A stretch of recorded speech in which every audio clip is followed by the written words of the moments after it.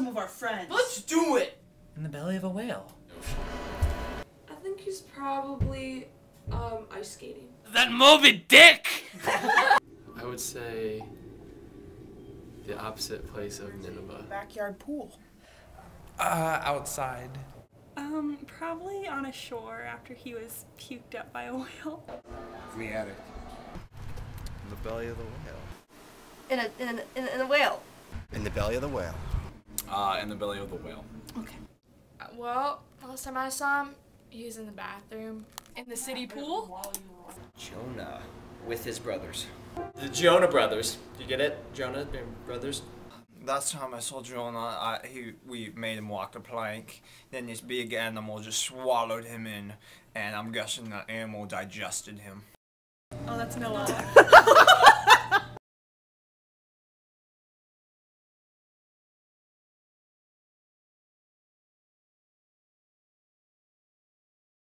Insight from our friend. It was. Dr. Snortslot, what do you think is our next plan of action? Well, Dr. Hakalugi, I I think that we should probably get some more research on what kind of whale it was. Yeah, and like where it lives, what kind of water it likes, what it likes to eat. We should go to our laboratory. That's a great idea. Let's go. Yeah. Yeah, research.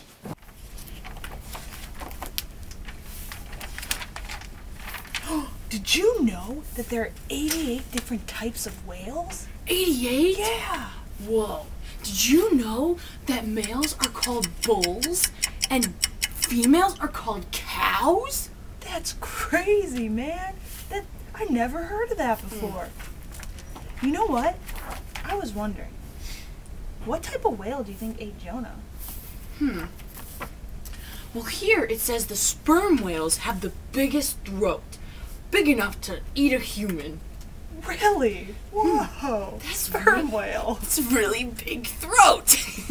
well, whales typically migrate from the North Atlantic, the Arctic, down to Antarctica. Huh, interesting. That when whales are younger, they love to live in warm water. And then, as they grow older, they go to cold water. Isn't that so fascinating? That's really interesting. Yeah. But since today is April 13th, It is. where would they be? Hmm, that's an interesting question you ask. I firmly believe, after conducting research, that the sperm whale that ate Jonah will be located in this Californian Atlantic Ocean. Let's well, go. I guess there's only one thing to do. Adventure time. Hands in. Woo!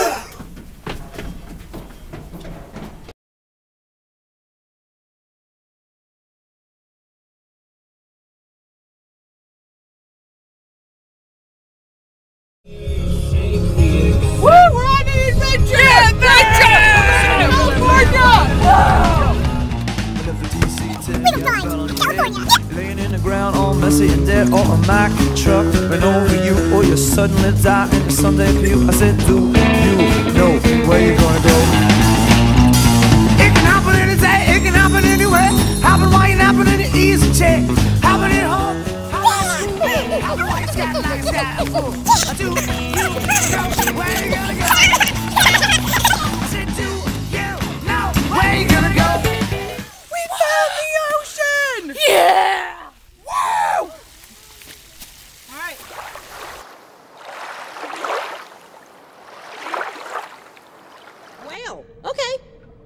Speaks whale. Speak whale? What does that even mean? Dude, you don't know how to speak whale? No. Do you guys want to help me teach him how to speak whale? How are you doing? I am fine. No, no, no, that's not how you do it. Here, let's example from Shamu University, the number one whale in America. Take a look. Hey,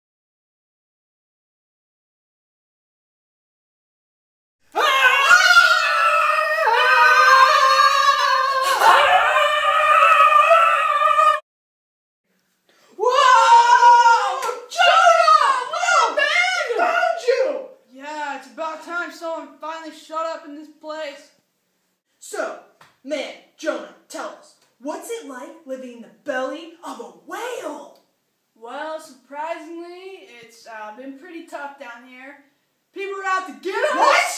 And they hurt us! And they collide their ships with us! And they pollute our waters! And oh. which affects the whales! They they can't see and they can't hear from the pollution. It's just a really sad situation. And the whales are just becoming less and less. Oh, man, that sounds rough. I'm mm. so sorry. So mm. sorry, man. Mm.